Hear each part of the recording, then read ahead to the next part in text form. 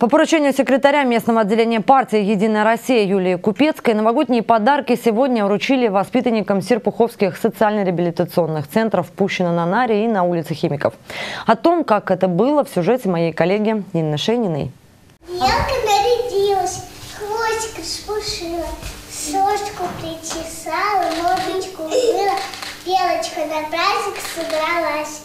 Воспитанники городского реабилитационного центра для несовершеннолетних рассказывают гостям стихи. Ребятам дарят настольную игру хоккей, шарики, сладкие подарки. В условиях пандемии передают конфеты, избегая объятий и лишних контактов. Ну, они тем более у нас все привыкли. Э, да. И когда я иду, и они все бегут Оксан Павловна, а я говорю, не подходите ко мне, мимо проходите, это начинают плакать. То есть мы все с вами загадываем желание, пишем все да. письма да, к Деду да, Морозу. Да. То есть уже все для себя решили, что главное желание было, точнее, главное пожелание, чтобы все-таки да. в следующем году мы с вами с такими сложностями и проблемами не сталкивались. Чтобы он помог.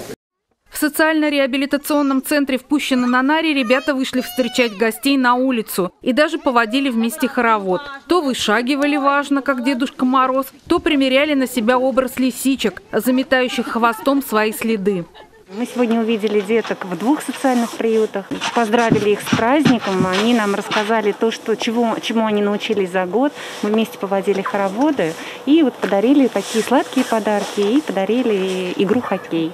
Администрация города это делает совместно с местным отделением партии России и молодой гвардией.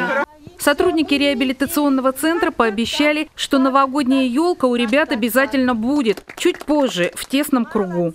Он будет в тесном э, семейном кругу, но он будет очень интересный, так как э, год такой сложный, и все, кто хотел и мечтал попутешествовать, но, возможно, у них этого не получилось, вот у наших детей это обязательно получится.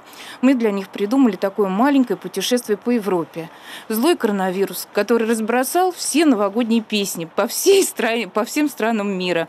Мы все нотки соберем и все-таки споем новогоднюю песню. Настольную игру «Хоккей» ребята начали осваивать уже сегодня.